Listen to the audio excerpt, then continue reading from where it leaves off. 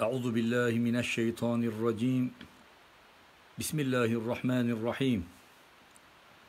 Elhamdülillahi rabbil alamin ve salatu vesselamu ala rasulina Muhammedin ve ala alihi ve sahbihi ecmaîn. Esselamu aleyküm ve rahmetullahi ve berekatuhu aziz kardeşlerim. Cenab-ı Hak Celle Celaluhu'ya binlerce kez hamdü senalar olsun. Yarattığı zerrat adetince Cenab-ı Hak Celle Celaluhu'ya hamdü senalar olsun. Denizlerdeki katreler, damlalar haddi hesabınca Hazreti Allah Celle Celaluhu'ya hamdü senalar olsun aziz kardeşlerim. Evet, bugün 11 Nisan Şanlıurfa'mızın düşman işgalinden kurtuluşunun 101. yılı. Yani 11 Nisan 1920'de Şanlıurfa'mız düşman işgalinden kurtulmuştu. Bu vesileyle Şanlıurfa'mızın düşman işgalinden kurtuluşunu ve 1984 yılında Şanlı unvanını alarak Şanlı adına yakışır şekilde Şanlıurfa oluşunu kutluyorum aziz kardeşlerim. Rabbim bizlere yeniden bu gibi destanlar yazdırmasın aziz kardeşlerim. Evet Cenab-ı Hak Celle Celaluhu'ya hamdü senalar olsun dedik. Bizleri inşallah yepyeni bir Ramazan-ı Şerife Cenab-ı Hak Celle Celaluhu eriştirdi. Yarın gece inşallah ilk sahuru idrak edeceğiz aziz kardeşlerim. Geçen sene Ramazan-ı Şerif'i birlikte idrak ettiğimiz nice nice abilerimiz, kardeşlerimiz, büyüklerimiz bu sene Ramazan-ı Şerif'e yetişemediler. Cenab-ı Hak Celle Celaluhu kabirlerini nur, mekanlarını cennet ali eylesin aziz kardeşlerim. Evet, Ramazan-ı Şerif diyelim. Ben size Ramazan orucunu ne bozar ne bozmaz bunları anlatmayacağım. Ramazan-ı Şerif ile ilgili hikmetlerini ve Ramazan-ı Şerif'te yapmamız gereken veya yapmamamız gereken bazı şeyleri anlatmaya çalışacağım. Rabbim bana anlatma kabiliyeti, sizlere de beni dinleme sabrı verirse inşallah konu anlaşılacaktır zannediyorum. Evet aziz kardeşlerim, Ramazan-ı Şerif hicretin ikinci yılında ümmeti Muhammed'in üzerine farz kılınıyordu. Cenab-ı Hak Celle Celaluhu hicretin ikinci yılında sizden evvelki ümmetlere oruç farz kılındığı gibi sizlere de farz kılındı ayet-i kerimesiyle ümmeti Muhammed'in üzerine Ramazan-ı Şerif'i farz kılıyordu aziz kardeşlerim. Ramazandan önce oruç yok muydu? Ümmeti Muhammed oruç tutmaz mıydı? Elbette ki oruç vardı. Çünkü geçmiş ümmetlerde de oruç vardı. Oruç vardı ve ümmeti Muhammed üç gün olarak Ramazan orucunun dışında oruç tutardı aziz kardeşlerim.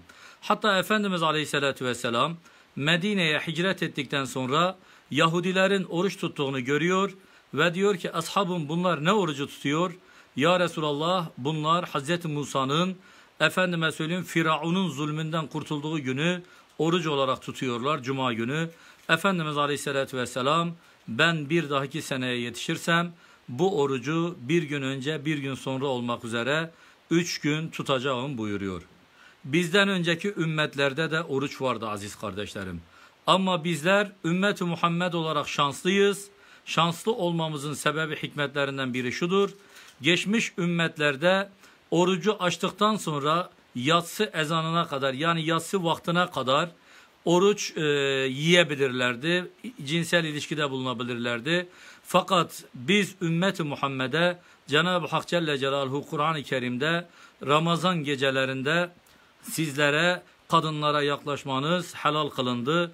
Beyaz ip siyah ipten, siyah ip beyaz ipten ayrılana kadar. Yani imsak vaktini Cenab-ı Hak Celle Celaluhu bizlere bildirerek bu kolaylığı bizlere sağlıyordu aziz kardeşlerim.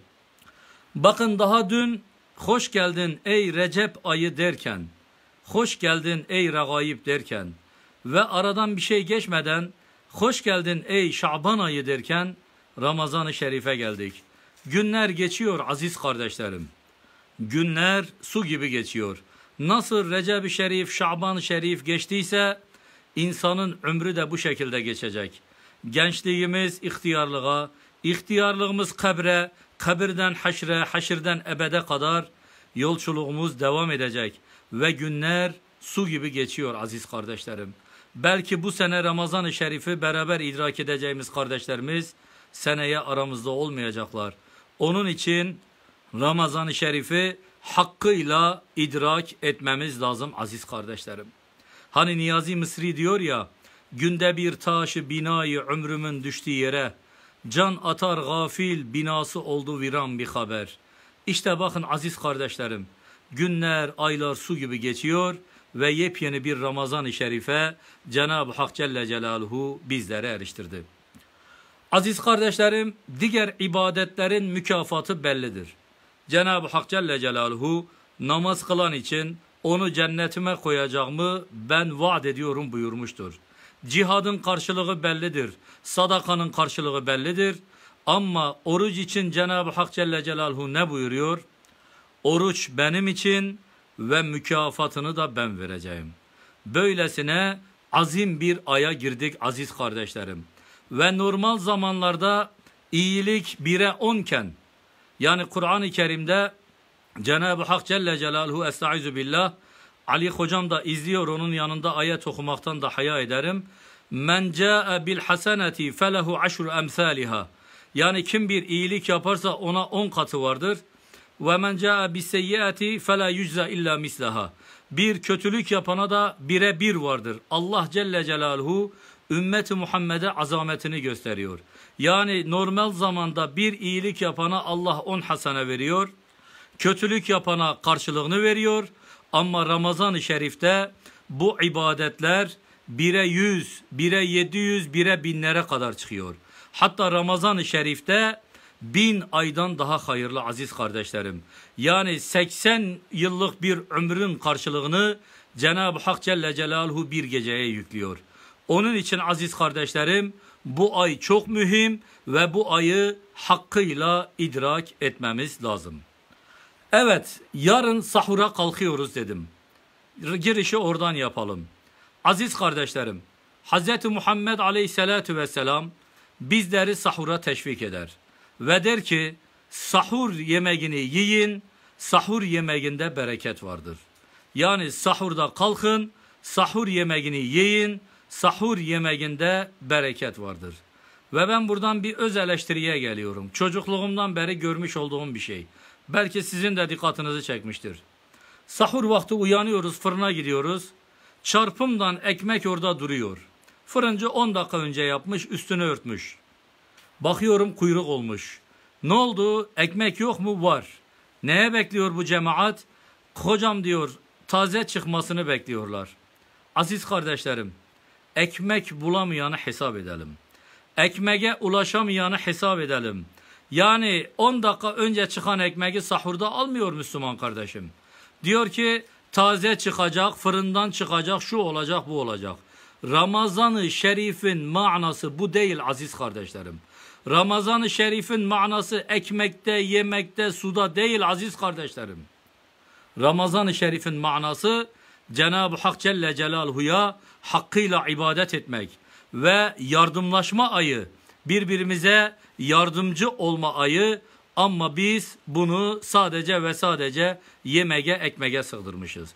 Demek ki sahur yemeğine kalkacağız. Hz. Muhammed Aleyhisselatü Vesselam sahur yemeğinde sizin için bereket vardır buyuruyor. Ve Efendimiz Aleyhisselatü Vesselam bir hadis-i şerifinde de şöyledir. Cennetin sekiz tane kapısı vardır. Cennetin sekiz kapısı vardır. Salat kapısı vardır, cihat kapısı vardır, efendime söyleyelim ilim kapısı vardır ve bir de reyyan kapısı vardır. Hazreti Resulullah Aleyhisselatü Vesselam reyyan kapısından sadece oruç tutanlar geçer diyor. Yani cennetin reyyan kapısından sadece ve sadece Allah rızası için oruç tutanlar geçer. Bu hadisi söylediği ortamda Hazreti Ebu Bekir de vardır. Hazreti Ebu Bekir buyuruyor ki ya Resulallah peki bu sekiz kapıdan birden geçecek kimse yok mudur? Yani bu sekiz kapının her birinden çağrılacak kimse yok mudur? Allah Resulü aleyhissalatü vesselam sen ya Ebu Bekir sen cennetin sekiz kapısından da çağrılacaksın. cennetin sekiz kapısından da Ebu Bekir gelsin bizden geçsin. Bizim yanımızdan içimizden geçsin de cennete girsin buyurulacaktır. Cennetin reyyan kapısı. İşte o kapının açıldığı ay yarın aziz kardeşlerim hakkıyla idrak etmeye çalışalım.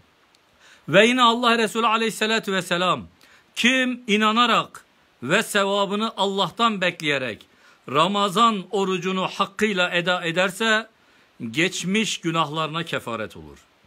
Yani hakkıyla Ramazan orucunu eda ederse geçmiş günahlarına kefaret olur. Hatta ve hatta bazı imamlar gelecek günahlarına dahi kefaret olur diyenler vardır. Öylesine azim bir ay işte bu aya yarın gece inşallah ayak basıyoruz aziz kardeşlerim. Peki diyeceksiniz hocam nasıl erişiriz? Yani geçmiş günahlarımız af olacak. Efendime söyleyelim Reyyan kapısından çağrılacağız. Nasıl bir oruç tutmamız lazım derseniz size şifresini veriyorum. İyi dinleyin beni.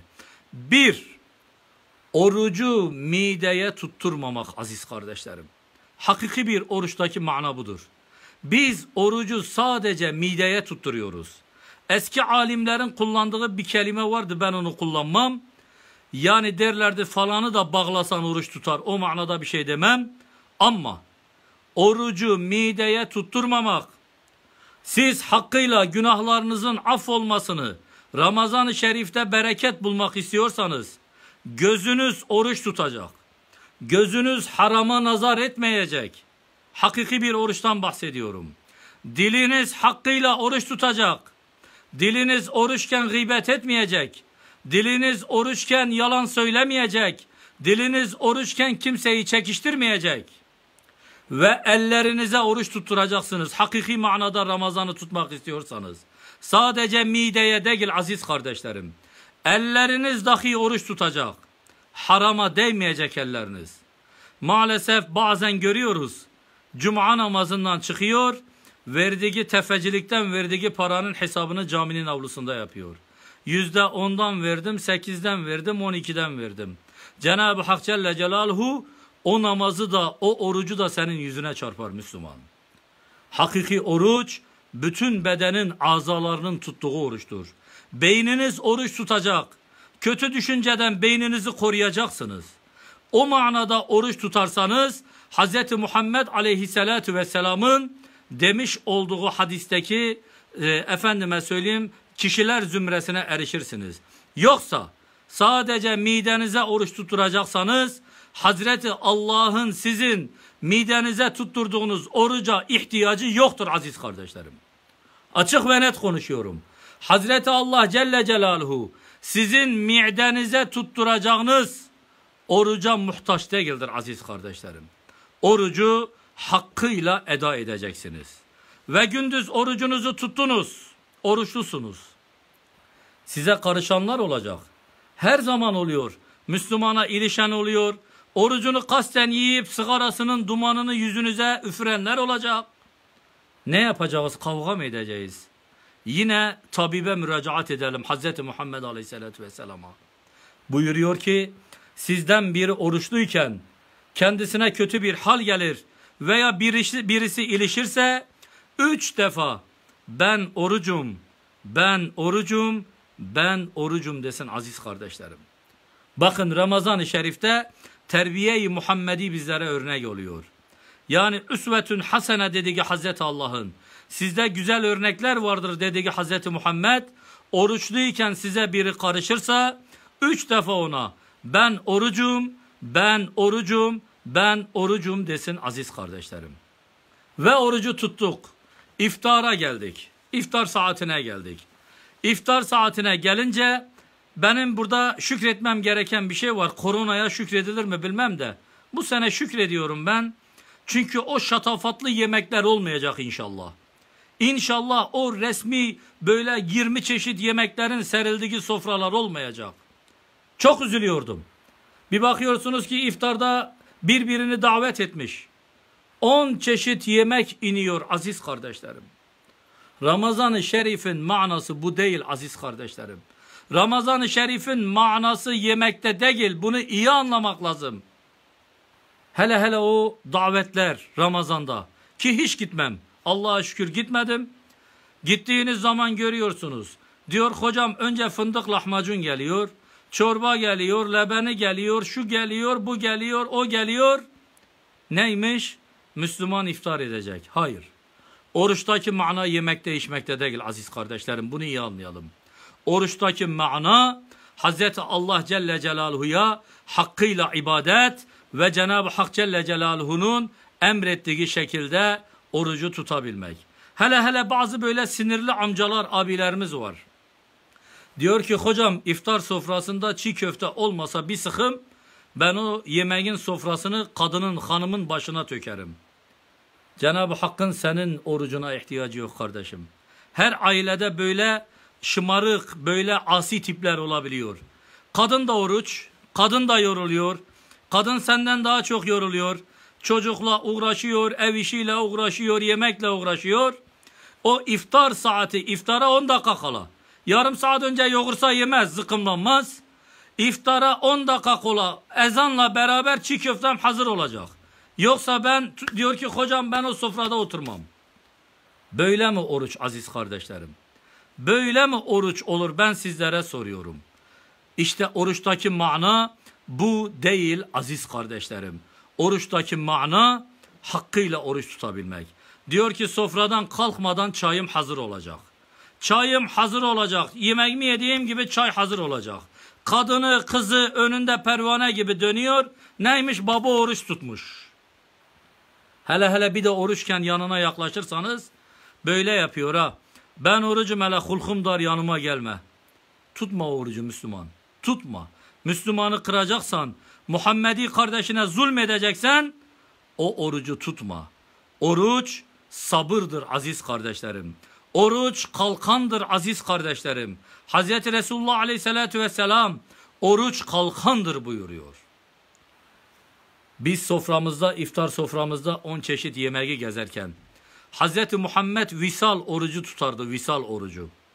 Bakın izliyor Ali hocamla biz bugün bunu konuştuk. Hazreti Muhammed aleyhissalatü vesselam visal orucu tutardı, visal orucu. Nedir biliyor musunuz? Allah Resulü iftar açacak bir şey bulamaz, iki günlük orucu birbirine bağlardı. Birbirine. Araştırın bakın. Alimlerinize sorun. Hazreti Resulullah Aleyhisselatü Vesselam orucu açacak bir şey bulamadığı için iki gün orucu iftarsız birbirine bağlardı. Hatta sahabelerden bazısı, sahabelerden bazısı ya Resulallah sallallahu aleyhi ve sellem biz de böyle oruç tutalım dedikleri zaman Allah Resulü şöyle demişti. Beni Rabbim yediriyor. Beni Rabbim içiriyor. Siz benim gibi yapamazsınız. Hazreti Muhammed iftarsız oruç tutardı. Visal orucu. Biz sofrada on çeşidi beğenmiyoruz. Hazreti Fatıma annemiz diyor ki bir gün arpayı elimde el değirmeninde ögüttüm. Ögüttüm onu aldım ekmek yaptım. Ve aklıma geldi dedim babam Hazreti Muhammed de acdır. Ona da bir ekmek götüreyim arpa ekmeği. Diyor götürdüm babamın kapısını çaldım. Dedim ki baba arpa ekmeği yaptım sana getirdim. Hazreti Resulullah aleyhissalatü vesselam diyor ağlamaya başladı. Gözümün nuru fahrı kainat Hazreti Muhammed'in gözünden yaşlar boşaldı. Baba dedim niçin ağlıyorsun? Dedik bilir misin kızım babanın boğazından üç gündür bir şey geçmedi. Babanın boğazından üç gündür bir şey inmedi. Hazreti Muhammed aleyhissalatü vesselam. İftar saatinde 20 çeşit olmasa Müslüman kardeşim iftarını açmazmış. Visal orucu tutardı Hazreti Resulullah. Visal orucu. Yemek içecek bir şey bulmadığı için iki günlük orucu birbirine bağlardı Allah Resulü. Ve aziz kardeşlerim, Ramazan-ı Şerif'te en önemli şeylerden biri.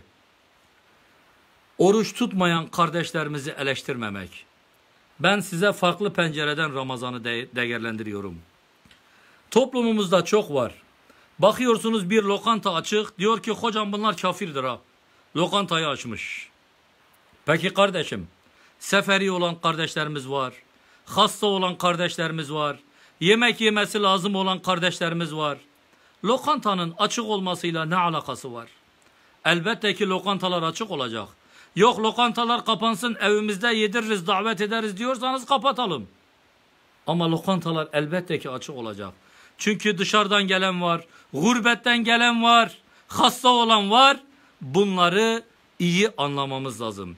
Ama Müslüman olarak zanda bulunuyoruz. Oruç tutmayan birini gördük mü hemen zanda bulunuyoruz. Allah Kur'an-ı Kerim'de ne diyor? Ya eyyühellezine amenu iştenibu kethiren minezzan. İnne ba'de zanni ismun. Allah diyor. Ey iman edenler zandan kaçının. Zannın çoğu günahtır. Cenab-ı Hak Celle Celaluhu diyor. Ama biz ne yapıyoruz? Zanda bulunuyoruz. Geçenlerde bir yerdeyim. Bir kadın yoldan geçiyor. Elinde telefon biraz uzun konuştu. Yanımda baktım biri dedi bunun dostu var. Ben de döndüm dedim derdi var. Yani yarım saat bir kadın telefonla konuştu mu dostu mu olacak? Böyle mi zanda bulunacağız? Müslüman ahlakı bu mu? Muhammedi ahlakı bu mu aziz kardeşlerim? Bu mu? Ama biz kötü ahlakı almışız, iyiliği bir tarafa atmışız. Müslümana yakışan hüsnü zandır aziz kardeşlerim. Zan her şeyi çirkin gösteren bir gözlüktür. Ama hüsnü zan her şeyi berrak gösteren, şişeyi dahi elmas gösteren bir gözlüktür. Müslüman bunu anlaması lazım. Bakıyorsunuz bir binada oturuyor, adam çevresi var. Gideni geleni çok, hemen yapıştırıyor. Hocam buna giden gelen çok. Acaba, ne acaba? Acaba hocam, acaba hocam şöyle mi böyle mi? Acaba böyle mi? Bunun gideni geleni çok. Sana ne kardeşim? Müslüman zandan uzak durmalı. Ve dediğim gibi Ramazan-ı Şerif'te orucunu yiyen kardeşlerimize farklı gözle bakmamamız lazım. Bizler sorgu makamı değiliz, değiliz. Değiliz. Bizim sorma hakkımız yok. Ama bakıyorsun işte zanda bulunuyor, eleştiriyor aziz kardeşlerim. Bunlara da dikkat etmemiz lazım. Ve Ramazan-ı Şerif'in en önemli yönlerinden biri. Taavun aziz kardeşlerim, yardımlaşma. Yardımlaşma aziz kardeşlerim. Hazreti Resulullah ne diyor? Komşusu ac iken tok yatan bizden değildir. Şimdi komşumuzun halini Ramazan-ı Şerif'te soruyor muyuz aziz kardeşlerim? Allah için bir binada oturanlar bir kat üstündeki altındakinin adını soyadını biliyor mu? İşte onun için Müslümanlıktan bizler uzaklaştık. Yardımlaşma aziz kardeşlerim. Ramazan-ı Şerif'in en büyük manası yardımlaşmadır aziz kardeşlerim. Yoksa yarın gidiyor kasaptan gövdeyle eti alıyor, son model arabanın bagajına koyuyor, pazardan en iyi eşyaları alıyor, evine koyuyor, sahur ayrı, iftar ayrı. Hocam Hazreti Resulullah dedi ki kim Ramazan orucunu tutarsa cennetin hangi kapısından isterse girsin. Yok öyle yağma. Yok öyle yağma. Komşunu soracaksın. Fakir fukarayı Ramazan-ı Şerif'te soracaksın. Kapılarını çalacaksın. Bunu yapıyor muyuz aziz kardeşlerim? Yapıyor muyuz bunu? İşte bakın Ramazan-ı Şerif geldi dedim. Şimdi Ramazan ayı, bereket ayı. Cenab-ı Hak Celle Celaluhu bereket bırakıyor bu aya. Ne var komşularımıza yemek verelim. Ne var ihtiyacı olanların yardımına koşalım. Bunu yaparsak Ramazan-ı Şerif'ten tad alırız aziz kardeşlerim. Biz yardımlaşmayı sağlarsak Ramazan-ı Şerif'ten tad alırız aziz kardeşlerim. Sen iki kilo etle efendime söyleyeyim 20 tane lahmacun yapacaksın. Senin komşun et yerine patatesle lahmacun yapacak. Ben görmüşüm. Patatesle lahmacun yapanın sofrasında oturmuşum ben. Patatesle et bulamadığı için. Yılın bazı günlerinde ağzına midesine et inen fakir var bu memlekette. Ama gelip kimseden dilenmez. Ayet-i kerime diyor ya La yes'elûnen nâse ilhafa. İnsanlardan bir şey istemeye utanır. Bu tür fakirler, garipler var bu memlekette. Sen gövdeyle ete eve götür, iftarını yap, ondan sonra de ki hocam Ramazan-ı Şerifimiz mübarek olsun. Eğer Ramazansa sana mübarek olsun aziz kardeşlerim. Ramazan ayı yardımlaşma ayıdır.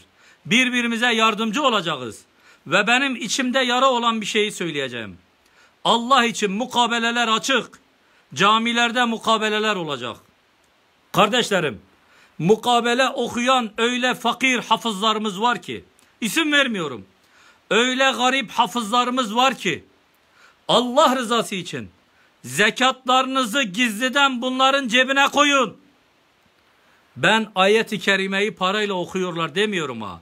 Ve la teşteru bi ayati semenen kalila. İyi anlayın beni. Öyle hafızlarımız var ki genç hafızlarımız. Zaten zengin çocuğunu Kur'an hafızlığına koymuyor. Hafızlarımızın hepsi fakir aile çocuğu. Allah rızası için. Camiye gittiniz, mukabele okudu hafızlarımız. Gizliden, rencide etmeden. Hafız abi bu bizim hediyemizdir deyin cebine koyun. Hafızlarımızı unutmayın. Onlar sizden istemezler. Kur'an-ı Kerim'de Cenab-ı Hak diyor. La yes'elûnen nâse ilhafa. İnsanlardan bir şey istemeye utanırlar. Bu tür hafızlarımızı görürseniz yardımlaşma ayı. Zekatlarınızdan ceplerine koyun aziz kardeşlerim. Yardımlaşma ayından bahsediyorum. Ve yine zekatlarınızı Allah rızası için ihtiyacı olanlara verin. Fitrelerinizi ihtiyacı olanlara verin. Beni aradı bir gün, dün biri. Hocam diyor ben fitremi torunuma verebilir miyim? Dedim Hacı abi kaç tane torunun var? İki tane.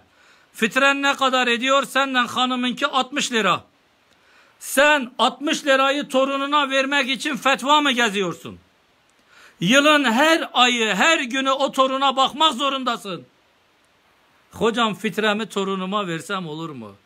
Arıyor hocam yeğenim yetim. Fitremi yeğenime versem olur mu? Olmaz değil, olur. Yeğene olur, toruna olmaz. Ama yeğenine her zaman bakmak zorundasın. Torununa her zaman bakmak zorundasın. Yani bir 30 lirayı dahi dışarıdaki fakire vermeyecek misin Müslüman? Dışarıdaki fakirin hakkı yok mu? İşte fidyelerinizi, oruç tutamayan kardeşlerimizin vereceği fidyeler, bunları fakir fukaraya ulaştırın aziz kardeşlerim.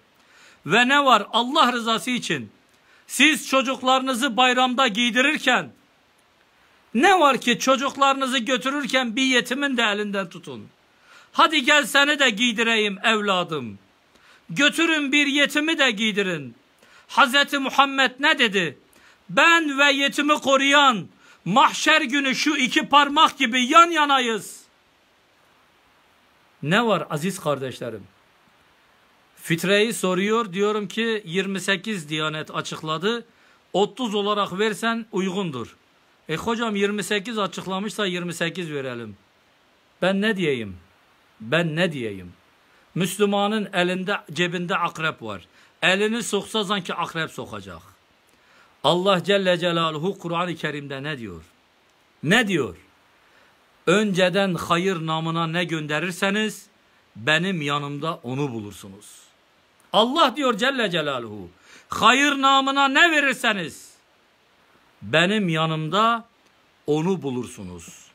Onun için aziz kardeşlerim bu aylarda bol bol infak etmeye çalışalım aziz kardeşlerim. Ve en önemli bir meseleye geliyorum. Vaktinizi fazla almama adına bu sene teravih kılınmayacak. Teravih kılınmayacak. En çok da teravihin kılınmamasına itiraz edenler, teravihe gitmeyenlerdir. Onu da ben söyleyeyim. Yani teravih kılınmayacak diye feryat edenlerin çoğu teravihe gitmeyenlerdir aziz kardeşlerim. Hadi maharetinizi görelim. Hocanın konuştuğu yerde bir alim gibi konuşuyorsunuz. Ben de bir hoca kadar bilgiliyim diyorsunuz. Hadi evinizde imamlık edin, cemaatle kılın yine aynı sevap. İmamlık edin ama iki tane inna ateynayı kulu vallahu'yu bilmez. Fakat oturduğu toplumda da ben de bir alim gibiyim. Ben de alimlerle oturmuşum. Benim babam da şeyhti. Benim babam da meşayihti. Benim babam da alimdi. Benim dedem de alimdi. Hazreti Resulullah diyor ki kızım Fatıma deme babam Hazreti Muhammed'dir. babam hocaydı, babam alimdi diyenlerin kulağı çınlasın. Teravih namazı kılınmayacak diye Müslüman itiraz ediyor. Her sene görüyoruz. Ramazan-ı Şerif'in ilk iki günü camiler doluyor. İlk iki günü camiler doluyor. İkinci günden sonra cemaat azalmaya başlıyor. Yavaş yavaş yavaş yavaş yavaş yavaş cemaat azalıyor. Her sene gördüğümüz şey. Bu sene bir pandemi var. Hakikaten memleketimizde Rabbim kaldırsın bu belayı üzerimizden. Bir pandemi var. Yetkililerimiz açıklama yapıyor. Teravih kılınmasın. Mukabele okunacak. Mukabele sosyal mesafeye uygun bir şekilde kılınır. Ama e, okunur, dinlenir. Ama teravihte aziz kardeşlerim bunu sağlayamazsınız. Millet yemek yemiş gelmiş. Millet efendime söyleyeyim ilk günler hakikaten duygular ağırlaşıyor. Manevi duygular coşuyor. Devletimiz bir yasak getirdi. Ya hocam olur mu ya? Teravihsiz olur mu? Peki şimdi ben bir şey diyeceğim. Cemaatle namaza beş vakit farz namazan için camiye gitmiyorsun Müslüman? He? Teravih sünnet değil mi? Sünnet. Teravih sünnet cemaate gitmeyeceğiz diye feryat ediyorsun. Bir vakit sabah namazı farzdır farz. Farzdır. Sen sabah namazına için gelmiyorsun kardeşim? He? Onu söylemez. Oysa ki bakın Hanbeli mezhebinde Hanbeli mezhebinde İmam Ahmed İbni Hanbel Hazretleri diyor ki efendime söyleyelim cemaat namazın efendime söyleyeyim rükünlerindendir. Yani şartlarından değil rükünlerindendir. Yani cemaatle namaz kılınmazsa farz namaz olmaz Hanbeli mezhebinde. Yani İmam Ahmed İbni Hanbel cemaat olmadığı zaman bir insan yalnız namaz kılamaz diyor. Hanbeli mezhebinde araştırın bakın. Vakit namazından bahsediyorum. Yani camiye gitmeden, cemaat olmadan Hanbeli mezhebine göre namaz kılamazsınız. Şafii mezhebine göre cemaatle namaz farz-ı kifayedir. Efendime söyleyelim, Hanifi mezhebine göre hemen hemen vacip hükmündedir. Çünkü Hanbeli mezhebi Kur'an-ı Kerim'deki verka'u ma'ar raki'in rükû edenlerle rükû edin ayetini delil getirir ve der ki cemaatsiz namaz olmaz. Hanifi mezhebinde de vacip hükmüne kadar gelir aziz kardeşlerim. Peki sen beş vakit namaz için niye feryat etmiyorsun Müslüman? He? Hazreti Resulullah diyor ki insanlar üç şeydeki sevabı bilseler ya kura çekerler ya yarışırlar ya da emekleyerek dahi olsa camiye giderler. Nedir ya Resulallah? İlk safta namaz kılmak, cemaatle namaz kılmak ve ezan okumak. Allah Resulü diyor ki bu üç şeydeki sevabı insanlar bilse. Teravihi camilerde kılmayacağız diye feryat eden kardeşimin kulağı çınlasın. Sen vakit namazına, farz namaza cemaate geldin mi ki? Farz namaz için camiye geldin mi ki? Ve aziz kardeşlerim bunu da söyleyeyim. Teravih namazını Hz. Muhammed Aleyhisselatü Vesselam üç gece kılmıştır. Üç gece. Mescide gelmiştir. Allah Resulü Aleyhisselatü Vesselam'a sahabelerin bazısı da tabi olmuştur. Allah Resulü sekiz rekat kıldırmıştır. Sekiz rekat. Yani bir insan sekiz rekat da kılsa biz ona bir şey demeyiz. Ama bazı rivayetlerde eve gidip 12 daha kılıp 20'ye tamamladığı var. Fakat doğru olan Hazreti Ömer döneminde bunun 20'ye tamamlandığı. Hazreti Muhammed Aleyhisselatü Vesselam Hazreti Resulullah Aleyhisselatü Vesselam üç gece teravih namazını mescitte kıldırdı. Ama dördüncü gece cemaat toplandı. Cemaat toplanınca Hazreti Resulullah çıkmadı. Çıkmadı. Mescide çıkmadı. Cemaat bekledi Hazreti Resulullah çıksın. Hazreti Resulullah çıkmadı. Ve sabah namazı vakti Allah Resulü aleyhissalatü vesselam mescide geldi. Namazı kıldırdıktan sonra döndü cemaate. Kelime-i şehadet getirdikten sonra Allah Resulü aleyhissalatü vesselam döndü dedi ki ben teravih namazına niçin çıkmadım biliyor musunuz? Korktum ki Allah Celle Celaluhu üzerinize farz kılır. Allah üzerinize farz kılar diye ben çıkmadım. Hz. Muhammed Aleyhisselatü Vesselam yine ümmetini düşünüyor. Eğer çıksaydı üzerimize farz olsaydı. Farz olsaydı. Misvakta da aynı şekilde. Hz. Resulullah yine diyor.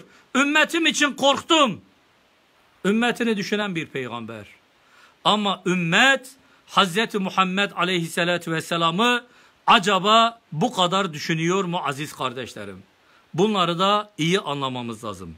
Ve evde teravihi kılırsanız önemli bir şey. Dört dört kılabilirsiniz.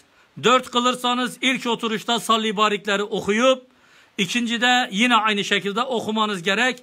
Bu da aklınızda olsun diye sizlere anlattım aziz kardeşlerim. Ve geldik diğer önemli bir konuya. Aşı konusuna. Ben dedim ya buna da değineceğim. Teravihe değindik, aşıya geldik. Türkiye'de Diyanet İşleri Başkanlığı var. Her zaman eleştirdiğimiz bazı şeyler oluyor. Ama inanın ki içerisinde öyle kıymetli alimlerimiz var ki, öyle kıymetli hocalarımız var ki, öyle kıymetli mollalarımız var ki, zaten bundan önce mollaları kadrolu olarak aldılar Diyanete. Mollalarımız ve bütün kitaplar, ilmi bütün kitaplar, hangisine bakarsanız bakın aziz kardeşlerim. Ölçü şudur. Derler ki aşı, serum, damar iğnesi ve gıda takviyesi orucu bozar. Yani kitaplara bakın fıkıh kitaplarına. Aşı, serum, efendime söyleyeyim damar yoluna vurulan ve gıda takviyesi olan her şey orucu bozar. Ama derinin altına derc edilen ve gıda hükmünde olmayan aşılar orucu bozmaz. Yani bugün Ramazan'da dişiniz ağrıdı. Dişçiye gittiniz. Dişçi dişinizi çekmek için iğne yaptı. Orucunuz bozuldu mu? Bakın fıkıh kitaplarına benim yanlışım olabilir. Alimler diyorlar ki oruç bozulmaz. Çünkü gıda hükmünde değil. Uyuşturucu olarak vuruyor ve kanla tükürükle birlikte dışarıya çıkıyor. Hatta bazısı ihtiyatı düşünmüş. Ramazandan sonra bir gün kaza etsin demişler. Şimdi sıranız geldi. Ramazan-ı Şerif'te korona aşısı olacaksınız. Korona aşısı. İftardan sahura kadar olamadınız veya gündüz sizi aradılar. Kardeşim gelmezsen sıran kaçar. Aşı olman lazım. Ne yapacağız? Gideriz aşımızı oluruz. Orucumuza devam ederiz. Kalbine yatmayan kardeşim Ramazandan sonra bir gün kaza etsin. Ama şahsımı soracak olursanız ben kaza etmem. Çünkü ulema bu konuda fetva veriyor gıda hükmünde değil, güç vermiyor insana, kuvvet vermiyor insana bu aşı. Bunu çok iyi anlamamız lazım aziz kardeşlerim. Ve geldik Ramazan-ı Şerif'in efendime söyleyelim son 10 gününde itikaf meselesine. Ben önemli başlıkları anlatıyorum. İnşallah konu daha iyi anlaşılsın diye. Aziz kardeşlerim, itikaf Kur'an ve sünnetle sabittir. Yani sünnettir, sünnet-i müekkettir. Efendimiz Aleyhisselatü Vesselam'ın sünnetidir. Ama kaynağı Kur'an'dır ve Hz. Muhammed Aleyhisselatü Vesselam'ın uygulamasıdır. Çünkü Kur'an-ı Kerim'de Bakara suresinde Cenab-ı Hak Celle Celaluhu itikafta iken kadınlara yaklaşmayın. Ayet-i kerime itikafa işaret eder. Ve Hz. Muhammed Aleyhisselatü Vesselam'ın uygulaması. Allah Resulü aleyhissalatü vesselam Hicri ikinci yılda Ramazan-ı Şerif farz olduğu için 9 yıl itikafa girdiği veya birini kaçırdığı sonradan 20'ye tamamladığı rivayeti de var. Allah Resulü her sene Ramazan-ı Şerif'in son 10 gününde itikafa girirdi. Yani son 10 gününde Hz. Muhammed itikaf yapardı. Ama mescitte yapardı. Evinin yanı mescit. Kadınlar için evi mescit hükmündedir. Kadın kardeşlerimiz itikaf yapmak isterse evinde yapar. Bunu iyi anlamamız lazım. Hazreti Resulullah Aleyhisselatü Vesselam her sene Ramazan-ı Şerif'in son 10 gününde itikafa girirdi. Ve itikafın sevabı çok mükemmel olan bir ibadettir. Yani cuma kılınan bir camide itikafa girilmesi evladır.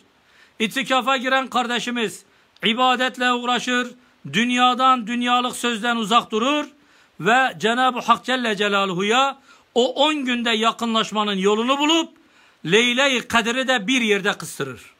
Çünkü Leyle-i Kadir'i Ramazan-ı Şerif'in son 10 gününde arayın. Veya efendime söyleyeyim tekli günlerinde arayın hadis-i şerifi. İtikaf bu yönden çok değerlidir. Yani itikafta olan kardeşimiz Leyle-i Kadir'i inşallah son 10 günü hakkıyla idrak ettiği için kaçırmayıp Leyle-i Kadir'i de bir yerde kıstıracaktır aziz kardeşlerim. Bunları da çok iyi anlamamız lazım. Ama itikaf kadar size hayırlı bir hasenet kazandıracak bir şeyi söyleyeyim. Aklıma geldi. Abdullah İbni Abbas büyük fıkıhçı Hz. Muhammed Aleyhisselatü Vesselam'ın amcasının oğlu Abdullah İbni Abbas. Bir gün itikaftadır. İyi dinleyin burayı.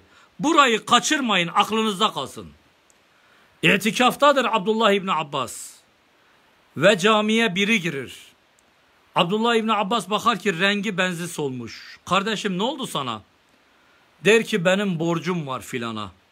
Ve günü geldi Hazreti Resulullah'ın kabrine parmağını çevirir. Şu kabirde yatan Hazreti Muhammed'e yemin olsun ki, şahit olsun ki şu kabirde yatan, vallahi benim onun borcunu ödeyecek param yok. Hükmüm de yok. Abdullah İbni Abbas itikaftadır bakın dikkat edin. Ve der ki kardeşim ister misin senin için aracılık edeyim? Olur der. Abdullah İbni Abbas kalkar giyinir, mescitten çıkar ayakkabısını giyeceği anda adam der ki sen itikaftasın ya imam unuttun mu? Abdullah İbni Abbas unutmadım der. Ve kendisi de şehadet parmağını Hazreti Muhammed'in kabrine çevirir. Der ki aramızdan yeni ayrılan şu zata yemin olsun ki ben şu zattan duydum ki kim bir müminin ihtiyacını giderirse 10 yıl ihtikaf sevabı ona verilir. Araştırın. Kim bir müminin ihtiyacını giderirse ona 10 yıllık ihtikaf sevabı verilir. Açın siyer kitaplarını bakın. Aziz Hoca'nın siyer kitabında açın bakın. Abdullah İbni Abbas bölümünde. Kim bir müminin ihtiyacını giderirse ona 10 yıllık ihtikaf sevabı verilir. Oysa aziz kardeşlerim, ihtikafın her bir günü için ne diyor? Cennet ve cehennem arasına bir hendek mesafesi yol koyulur. Ve her biri doğuyla batı kadar mesafelidir birbirine. Yani ihtikafın bir günlük sevabı için Cenab-ı Hak Celle Celaluhu Efendimiz buyuruyor. Cennetle cehennem arasına bir hendek kor. Ve o her bir hendekin uzunluğu doğuyla batı kadar arasıdır. Ama kim bir müminin ihtiyacını giderirse Allah Celle Celaluhu ona 10 yıllık ihtikaf sevabı verir. Ramazan-ı Şerif'ten anlayacağımız bunlar aziz kardeşlerim. Ve bayram sabahına fitresini bırakan kardeşlerimiz. Fitrelerini bayram sabahı vermeleri gerekir, vaciptir. Eğer vermezlerse, vermezlerse bayram öncesi veya bayram sonrası mutlaka vermeleri lazımdır. Bayram sabahı dünyaya gelen çocuğun dahi fitresini babası verir. Yani bayram sabahı nefes alıp veren, zekata tabi olan yani zekat vermeye gücü olan veya elinde zekat malı kadar malı olan bir insan fitreyle mükelleftir. Fitresini fakir fukaraya vermek zorundadır aziz kardeşlerim. Bunları iyi anlamamız lazım. Ve bitirirken konuyu sonlarda iki şey anlatacağım. Aziz kardeşlerim her cuma günü Rabbim nasip ederse her cuma günü halka açık bir şekilde yapacağız. Ses sistemlerini falan da ayarladık. Murat Hafız'ın Allah razı olsun her zaman bana abilik, büyüklük yapmıştır Hafız abi. Allah kendisinden razı olsun.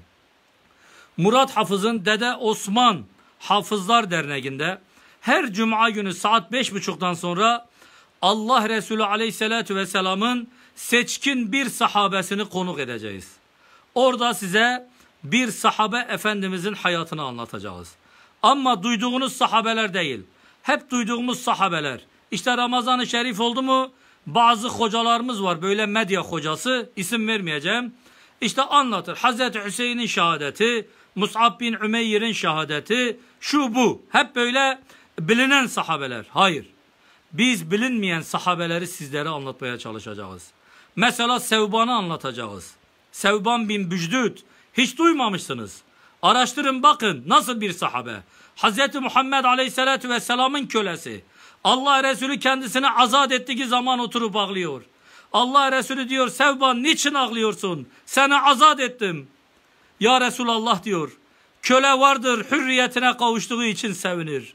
Köle de var ki sana kölelik ettiği için sevinir. Ben sana köle olduğum için mutluyum ya Resulallah. Bunların hayatını inşallah önünüze getireceğiz. Canlı yayınlarımız olacak. Canlı yayınlarla inşallah sizlere ulaştıracağız. Adresimiz aşağı çarşıda Mevlahane Camisi'nin yanında. Şafak Banyo'nun karşısında. Hatta Hafız abi daha güzellikler düşeni, düş, düşünüyor. İftara yetişemeyenlere Hafız abi güzellikler yapacak. Allah kendisinden razı olsun. Sizi hepinizi bekliyoruz. Zaten oruçsunuz. Eve gidip ne izleyeceksiniz? Televizyonda izlenecek ne program var? Biri bizi gözetliyor. Yok efendim işte söyleyeyim biri bize bakıyor. Zaten biri her zaman bizi gözetliyor. Hazreti Allah her yerde bizi gözetliyor. Bırakın biri bizi gözetliyor. Yemek programı izleyeceksiniz televizyonda. Birbirlerini yerin dibine koyuyorlar. Bu köften kuru olmuş, bu köften sulu olmuş. Nimetle dalga geçiyorlar. Başka bir şey yok. Ya da oturacaksınız, Survivor izleyeceksiniz. 10 tane başıboş genç, 10 tane başıboş kız bir adada yan yana zaman geçiriyor. Bunlar size bir şey kazandırmaz aziz kardeşlerim. Gelin Ramazan-ı Şerif'te inşallah güzel sohbetlerimizi dinleyin. Güzel sohbetlere katılın. Kıymetli hocalarımız vaaz edecek. Kıymetli hocalarımız ders verecek. Gidin bunları dinleyin. Bir şeyler öğrenmeye çalışalım. Hazreti Ali diyor ki bana bir harf öğreteni bana bir harf öğretenin kölesi olurum. Onun için aziz kardeşlerim gidelim cemaatlere katılalım bir şeyler kazanmaya çalışalım. Ömrümüz geçiyor geçiyor. İnanın geçiyor. Ömür ağacımızdan her gün bir yaprak düşüyor. Ve bir gün gelecek o gövde çökecek. Gelin bugünlerin kıymetini bilelim. Elde fırsat var iken ey natuvan. Kalk bu gafletten uyan diyor mevlütlerde. Onun için ben de diyorum. Elde fırsat var iken gelin bu Ramazan-ı Şerif'i miad edelim. Bu Ramazan-ı Şerif'i değerlendirmeye çalışalım. Ve son olarak bizim kurduğumuz bir derneğimiz var aziz kardeşlerim. Rahmet Damlası diye. Allah sizlerden razı olsun. Hep arkamızda oldunuz. Hep arkamızda oldunuz, yanımızda oldunuz. Allah sizlerden yüz bin defa razı olsun. Ben hepinize dua ediyorum. Rabbim hepinizden razı olsun. İnanın gittiğimiz fakir fukara sizlere dua ediyor. Adak kurbanlarınızı alıp kesiyoruz. Efendime söyleyeyim zekatlarınızı dağıtıyoruz. Gıda kolilerinize talibiz. Yani hocam ben gıda dağıtacağım diyen insan beni çağırsın ben sırtımda hamballık edeyim. Yeter ki, yeter ki aziz kardeşlerim fakire ulaşmaya çalışalım. Fakirin kapısını çalmaya çalışalım. Fakirlerin gönlünü hoşnut edelim. Ki Cenab-ı Hak Celle Celaluhu da bizleri hoşnut eylesin aziz kardeşlerim. Rabbim hepinizden razı olsun. Beni dinleme zahmetinde bulundunuz. Cenab-ı Hak Celle Celaluhu Ramazan-ı Şerifinizi mübarek eylesin. Cenab-ı Hak Celle Celaluhu Kadir gecesiyle inşallah bizleri annemizden doğduğumuz gün gibi tertemiz eyleyip inşallah huzuruna alsın aziz kardeşlerim. Rabbim bu günler hürmetine hastalarımıza şifa, dertlilerimize deva, borçlu kardeşlerimize edalar ihsan eylesin. Rabbim bu mübarek günler hürmetine kimin ne murazı var ise hayır üzerine hasıl eylesin. Kimin gönlünde hayır üzerine ne varsa Allah Celle Celaluhu hasıl eylesin. Hayırlı evlat isteyenlere Cenab-ı Hak Celle Celaluhu hayırlı evlatlar versin. Hayırlı koca isteyen, hanım isteyen kardeşlerimize Cenab-ı Hak Celle Celaluhu hayırlı zevç ve zevceler versin. Rabbim işi kırık olanların işlerini düzeltsin. Zaten herkesin işi kırıldı. Şu korona sürecinde herkesin işi kırıldı. Rabbim herkesin işine, karına bereket versin. İnanın ümmeti Muhammed'in işi kırıldı. Eleştirmek değil, bir şeyler söylediğimiz zaman hemen siyasi anlaşılıyor. Allah için öyle anlamayın. Fakirimiz çoğaldı aziz kardeşlerim. Dükkanını açamayan var. Kantincilik yapıp okuldan kazancını yapamayan var. Servisçi kardeşlerimiz var servise çıkmadı. Gönlüm isterdi ki devletimiz bunlara birer asgari ücret bağlasın. Esnafımıza bağlasın ne var ki? Bizlerden alsın. Ben maaşlı çalışıyorum. Benden kessin bir miktar. Vallahi gönüllü söylüyorum. Ne var ki? Esnaf kardeşimiz feryat ediyor. Fakirleşti millet. Allah rızası için aziz kardeşlerim. Birbirimize dua edelim.